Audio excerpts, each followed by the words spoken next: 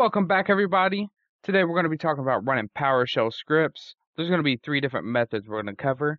Number one, simple, easy, just run it from the PowerShell CLI. Number two, just right click on that script and hit run with PowerShell. And then number three, we're going to go through the steps of setting up a scheduled task and have it run on an automated schedule. Basically, every Friday morning, let's run that report. So without further ado, let's hit the shell. All right, so the first thing we're going to be going over is execution policies.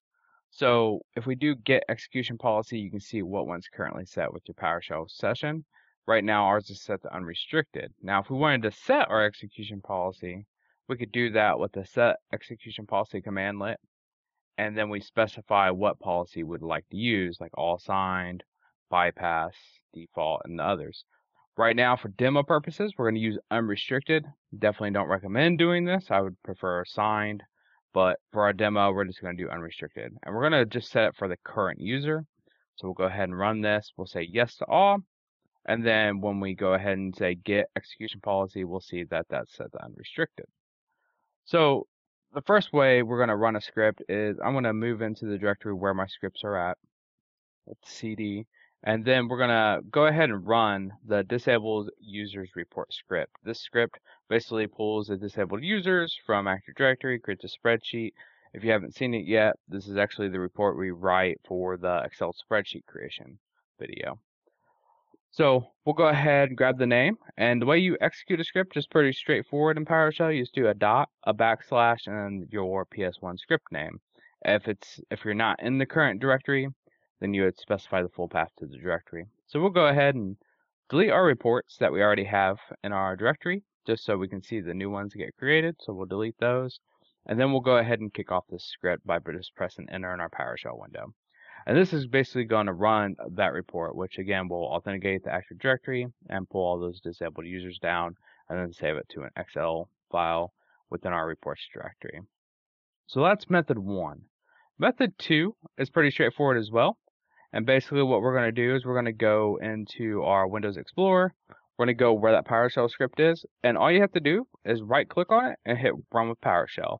Now, based on your execution policies, you may be prompted to approve or, you know, say, yes, I, I want to run this script.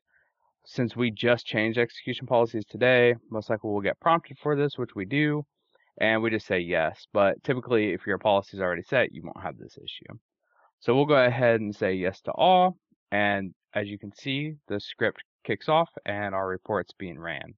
So this is the second method of running scripts. So our third method for running scripts is with Task Scheduler, and this will allow us to run a script on a scheduled basis. So let's say every Friday at 8 a.m. we want to run our report and it emails out to leadership, right? So the way you do this is first you want a service account, and this service account is going to need access to query Active Directory. And this is the account that's going to run this script. The next step is you need to give this account access to run scripts on your server in question. So basically how you would do that or check that is you would go to start and you would look at the local security policies on your server. So you search secpol and then you'll see local security policies. And then once you get into the local security policies, you'll open up the local policies, you'll open up user rights assignments, and then you'll see log on as batch job. Now when you open this up, you typically will add the user in.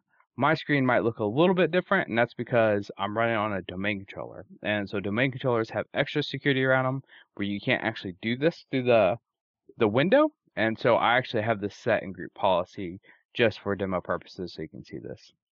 So we can see here that PowerShell task, our service account, is part of the logon as batch job. So that basically gives this account access to run it on a server. And again, I wouldn't recommend doing this on a domain controller, but on any server, it's totally fine. So next thing, we're going to open up Task Manager, and so our Task Scheduler. And so once we open this up, the first thing we're going to do is we're going to create a folder. And this folder is basically where all of our tasks are going to be living when we're running our scripts. And basically I do this so I know exactly where all my scripts are for the task. So we'll go ahead and go into the task scheduler library. We'll right click on that and we're going to create new folder. And we'll just call it scripts. And now that that's created, if you left click on it, you can see in the middle pane that there's nothing there. This is where we're going to create our task. So basically you'll right click, you'll hit create new task. All right, on the create task window, first we got to give our task a name. We're going to do disabled users report, something descriptive that makes sense. We also have a description box where you can put more information about this script, who wrote it, maybe where the repo is, where the script lives, just so someone knows when they come in behind this. Next thing is running the user. So if we want to run whether the user is logged in or not, obviously our user isn't going to be logged in because this is going to be on a scheduled basis. So we'll want to use run whether or not logged in. For this purpose, since we are logged in, I'm going to keep that one checked. And you can see the task is going to be run as automation slash PowerShell task, which is our service account in Active Directory. Again, remember, this is just for demo purposes and we're currently logged in.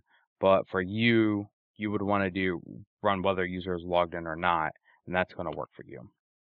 Next, we're going to create our triggers.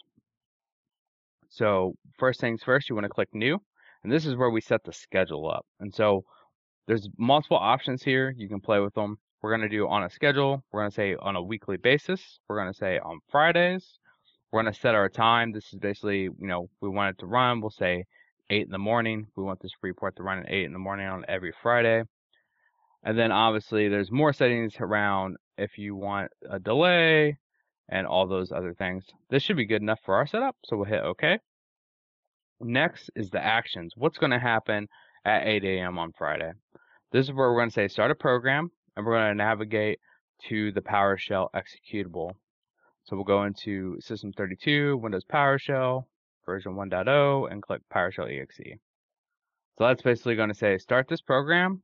The arguments, first one we're going to do is the execution policy. And this is just in case you don't have an execution policy set or anything like that. Here, we're going to set this execution policy to just bypass for now. Again, demo purposes, there's better practices, especially if it's signed and stuff like that.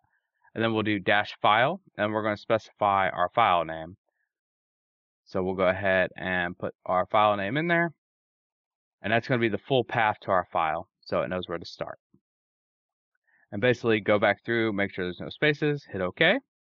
And then our conditions, this is where you can set other settings, nothing really useful for us on this case and then we can use allow task run on demand, uh, stop after three days of running, and so on and so forth. So that's going to basically fix any issues that you might have. Again, we're going to go in, back in, and select that user. So we'll go ahead and search PowerShell task. We'll hit OK. And then now we see it's there. We'll hit OK again. Uh, this is that run whether user is logged on or not, like I talked about before. And then we'll hit OK. Again, it's not prompting me for credentials because I'm already logged in as this user. But if you're setting up for another account, it would ask you to put a password in. So we'll go ahead and hit run task. And we can see that this task is going to kick off our report. And then we'll go in the reports directory and you're going to see that CSV or the Excel file get created. So that's basically all the steps that you take to run a report on a scheduled basis. I know there's not a lot of content out there, so don't forget to like and subscribe, and I'll see you next time.